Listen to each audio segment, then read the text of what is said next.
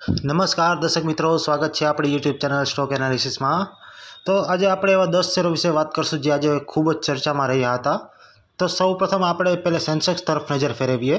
તો સેન્સેક્સ ત્રણસો સાત પોઈન્ટ ત્રેસઠ પોઈન્ટ અથવા ઝીરો પોઈન્ટ સુડતાલીસ ટકા ઘટીને રૂપિયા પાસઠ હજાર છસો અઠ્યાસી પોઈન્ટ અઢાર પર અને નિફ્ટી નેવ્યાસી પોઈન્ટ પિસ્તાલીસ પોઈન્ટ અથવા ઝીરો પોઈન્ટ છેતાલીસ ટકા ઘટીને ઓગણીસ હજાર ચારસો પાંચસો તેતાલીસ પોઈન્ટ દસ પર હતો.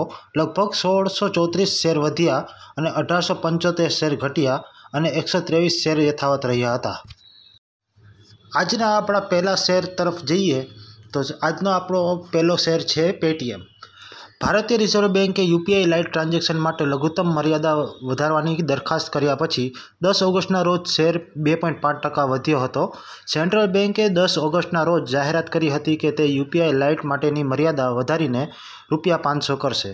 અગાઉ લઘુત્તમ મર્યાદા રૂપિયા બસો હતી અને એલપીઆઈ લાઇટ કરિયાણા દૂધની ચૂકવણી જેવા ઓછા મૂલ્યના વ્યવહારોની સુવિધા આપવા માટે શરૂ કરવામાં આવી હતી. ઈંડા વગર આ સુવિધા શરૂ કરવામાં આવી હતી, જેથી રૂપિયાઈ આવા સતત વ્યવહારોને સાંભળી શકે અને પ્રક્રિયાએ સરળ બનાવી શકે છે. હવે પછીનો બીજો આપણો સ્ટોક છે સનટેક રિયાલિટી લિમિટેડ કંપનીએ બીજા ક્વાર્ટરમાં ખોટ નોંધાવ્યા બાદ દસ ઓગસ્ટના રોજ શેરમાં ચાર પોઈન્ટ ત્રણ ટકા નીચા વેપાર થયા હતા. સનટેક રિયાલિટીએ ત્રીસ જૂન બે હજાર ત્રેવીસના રોજ પૂરા થયેલા ત્રિમાસિક ગાળા દરમિયાન રૂપિયા છ પોઈન્ટ તોતેર કરોડની ચોખ્ખી એકીકૃત ખોટ નોંધાવી હતી. કંપનીએ પાછલા ત્રિમાસિક ગાળાની તુલનામાં ખોટ ઓછી કરી હતી, પરંતુ ગયા વર્ષે નોંધાયેલા ચોખ્ખા નફાની સરખામણીમાં તે લાલચમાં રહી હતી. કંપનીની ચોખ્ખી એકીકૃત કુલ આવક ક્વાર્ટર એક બે એફવાય ચોવીસમાં રૂપિયા ઇઠ્યાસી પોઈન્ટ એકતાલીસ કરોડ હતી, જે ગયા વર્ષના રૂપિયા એકસો અડતાલીસ પોઈન્ટ એકોતેર કરોડની સરખામણીએ ચાલીસ પોઈન્ટ પંચાવન ટકા ઘટી હતી. આજનો આપણો ત્રીજો સ્ટોક છે Granules India Limited. Granule India Limited કંપનીએ જૂન ક્વાર્ટરમાં રૂપિયા સુડતાલીસ પોઈન્ટ નવ કરોડના ચોખ્ખો નફામાં વાર્ષિક ધોરણે બાસઠ પોઈન્ટ ચાર ટકા ઘટાડો નોંધાવ્યા બાદ દસ ઓગસ્ટની બપોરે ગ્રેન્યુઅલ્સ ઇન્ડિયાએ છ પોઈન્ટ ચાર ટકા નીચા વેપાર કર્યા હતા. ગ્રેન્યુઅલ્સ ઇન્ડિયાએ રૂપિયા નવસો પંચ્યાસી પોઈન્ટ પાંચ કરોડની કામગીરીમાંથી આવકમાં વાર્ષિક ધોરણે ત્રણ પોઈન્ટ ત્રણ ટકાનો ઘટાડો નોંધાવ્યો હતો. ત્યારે જ વ્યાજ કર ઘસારા અને એમોર્ટાઇઝેશન એટલે ઇપ્ટિડા પહેલાંની કમાણીએ પાંત્રીસ પોઈન્ટ ત્રણ ટકા ઘટીને રૂપિયા એકસો છત્રીસ પોઈન્ટ આઠ કરોડ હતી. ઇપ્ટીડા માર્જિન છસો એંસી બેસીસ પોઈન્ટ ઘટીને તેર પોઈન્ટ નવ ટકા થયું હતું. હવે આપણે ચોથા સ્ટોક તરફ આગળ વધીએ. તો આજનો આપણો ચોથો સ્ટોક છે વેરોક એન્જિનિયરિંગ લિમિટેડ. કંપનીએ એક વર્ષ અગાઉ ખોટ સામે એફ ક્વાર્ટર વનના એફઆઈ બે હજાર ચોવીસમાં નફો નોંધાવ્યા પછી દસ ઓગસ્ટના રોજ વેરોક એન્જિનિયરિંગ લિમિટેડના શેરમાં અગિયાર ટકાનો ઉછાળો આવ્યો હતો. કંપનીએ ક્વાર્ટર વન એફઆઈ ચોવીસમાં રૂપિયા પંચાવન કરોડનો ચોખ્ખો નફો નોંધાવ્યો હતો. એના પછી આ સકારાત્મક પરિવર્તન સરકાર તરફથી ચોક્કસ પ્રોત્સાહનોની પ્રાપ્તિ સાથે સ્થાનિક અને નિકાસ બજારોમાં કંપનીના મજબૂત પ્રદર્શનને આભારી છે. વેરોક એન્જિનિયરિંગ લિમિટેડની આવક એક વર્ષ અગાઉના ક્વાર્ટર વનમાં દસ પોઈન્ટ ચાર ટકા વધીને રૂપિયા અઢારસો પાંચ પોઈન્ટ સિત્તેર કરોડ થઈ હતી. ઇપ્ટિડા વાર્ષિક ધોરણે ચોત્રીસ ટકા વધીને રૂપિયા એકસો એંસી પોઈન્ટ વીસ કરોડ થયું છે. જ્યારે ઇપ્ટિડા માર્જિન વ્યાપાર મિશ્રણ પ્રોત્સાહનો ઓપરેટિંગ લેવરેજને કારણે વર્ષ અગાઉના આઠ પોઈન્ટ બે ટકાથી વધીને દસ ટકા થયું હતું. હવે પછીનો સ્ટોક છે મેક્સ ફાઇનાન્શિયલ સર્વિસીસ લિમિટેડ. કંપનીએ જૂન બે હજાર ત્રેવીસના રોજ પૂરા થયેલા ત્રિમાસિક ગાળા માટે સારા આંકડા દર્શાવ્યા પછી મેક્સ ફાઇનાન્શિયલ સર્વિસીસ દસ ઓગસ્ટના રોજ આઠ પોઈન્ટ સાત ટકા વધ્યો હતો.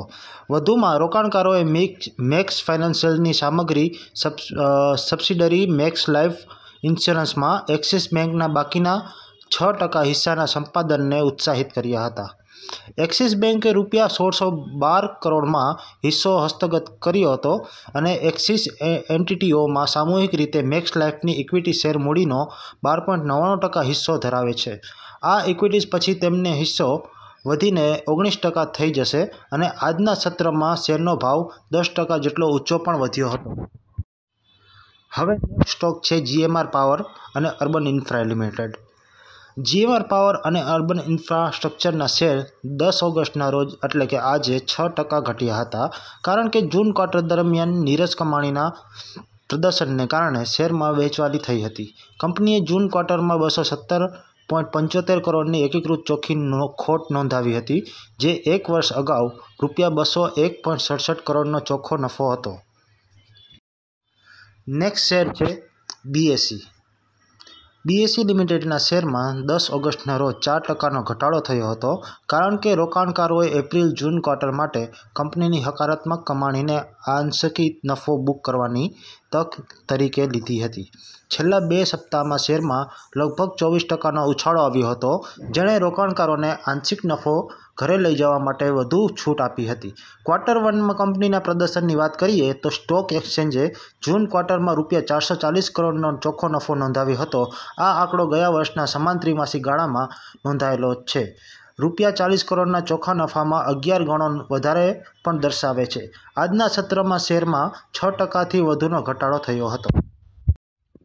હવે પછીનો સ્ટોક છે થોમ્સન કુક. થોમ્સ કુક શેરના શેર ત્રણ પોઈન્ટ પાંચ ટકા વધીને દસ ઓગસ્ટના રોજ તેમની બાવન સપ્તાહની ઊંચી સપાટીએ પહોંચી ગયા પછી ક્વાર્ટર વનમાં રૂપિયા સિત્તેર પોઈન્ટ નવ કરોડનો ચોખ્ખો નફા સાથે ટ્રાવેલ સર્વિસીસ ફર્મ પાછા ફરી ગયા. થોમસ કુકએ ક્વાર્ટર વન એફઆઈ ત્રેવીસમાં રૂપિયા છ કરોડને એકીકૃત ચોખ્ખી ખોટ કરી હતી. ક્રમિક રીતે પણ માર્ચ બે હજાર ત્રેવીસના રોજ પૂરા થયેલા ક્વાર્ટરમાં તેણે રૂપિયા દસ પોઈન્ટ બે કરોડની ખોટ નોંધાવી હતી. તેની કામગીરીમાંથી આવક ચોરાણું પોઈન્ટ પાંચ ટકા વધીને ક્વાર્ટર વન એફઆઈ ચોવીસમાં એક હજાર આઠસો નવ્વાણું કરોડ થઈ હતી, જે એક વર્ષ અગાઉના ક્વાર્ટરમાં રૂપિયા નવસો છોતેર કરોડ રૂપિયા થઈ હતી. હવે પછીનો સ્ટોક છે CMS Info System Limited. CNBC TV eighteen અનુસાર ત્રણ પોઈન્ટ બે કરોડ શેર્સ અથવા રૂપિયા અગિયારસો ત્રેસઠ કરોડની કંપનીની કંપનીમાં એકવીસ પોઈન્ટ છ ટકા હિસ્સેદારી બાદ દસ ઓગસ્ટના રોજ એટલે કે આજના, આજ રોજ શેર લગભગ સાત ટકા ઘટ્યા હતા. ખરીદનાર અને વિક્રેતા તરત જ આ માહિતી ન જાણતા હતા. આના કારણે રિટેલ વેપારીઓને ખૂબ જ મોટું નુકસાન થયું હતું. હવે, આજનો આપણો છેલ્લો સ્ટોક છે દસમો stock, Force Motors Limited. April June ક્વાર્ટરમાં ઓટોમોબાઈલ કંપની નફાકારક બની ગયા પછી શેષ દસ ટકા વધીને રૂપિયા ત્રણ હજાર ચાલીસની બાવન સપ્તાહની ઊંચી સપાટીએ પહોંચ્યો હતો અને દસ ઓગસ્ટના રોજ અપર સર્કિટમાં બંધ થઈ ગયો હતો. કંપનીએ જૂન એફઆઈ ચોવીસના રોજ પૂરા થયેલા ક્વાર્ટરમાં રૂપિયા અડસઠ પોઈન્ટ છ કરોડનો એકીકૃત નફો નોંધાવ્યો હતો, જે અગાઉના વર્ષના સમાન ગાળામાં સોળ પોઈન્ટ છ કરોડની ખોટ સામે હતો અને એણે નવ ઓગસ્ટના રોજ એક્સચેન્જ ફાઇલિંગમાં જણાવ્યું હતું, તો આ સ્ટોકમાં ખરીદી કરવા જેવું છે, તો તેની એ તો આપણે નોંધ લેવી. અને શેરબજારની આવી જ બધી માહિતી મેળવવા માગતા હોય, તો જલ્દીથી સબસ્ક્રાઈબ કરી દો અમારી યુટ્યુબ ચેનલને અને લાઇક, શેર અને કમેન્ટ કરવાનું ભૂલતા નહીં. ધન્યવાદ.